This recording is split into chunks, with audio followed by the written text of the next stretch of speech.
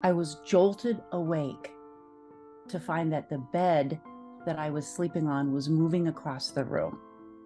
It was dark, 6 a.m., and I had no idea what was going on. My five year old brain was terrified. I was holding onto the bed for the full minute that the earthquake lasted as it rolled across the room. My dresser went across the room, put a hole in the wall.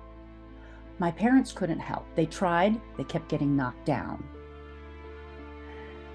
Later on, after the initial shock was over, we saw all sorts of damage in our house. Anything that could be broken was broken.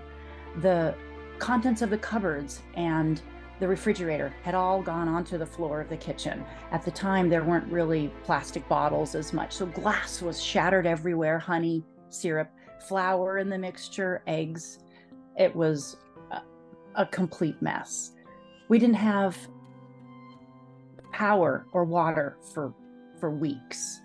And considering that and the issue with the kitchen, we ended up going to Red Cross shelters for our meals at the Red Cross shelter, they had a television set up. And that was where I saw that there were hospital buildings that had collapsed, that an overpass for a freeway, freeways that we use all the time, had fallen onto another road. And that was even more terrifying, especially considering that there were aftershocks all the time.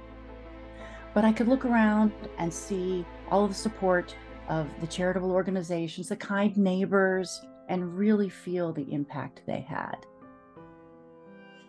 Together, we can make a huge difference.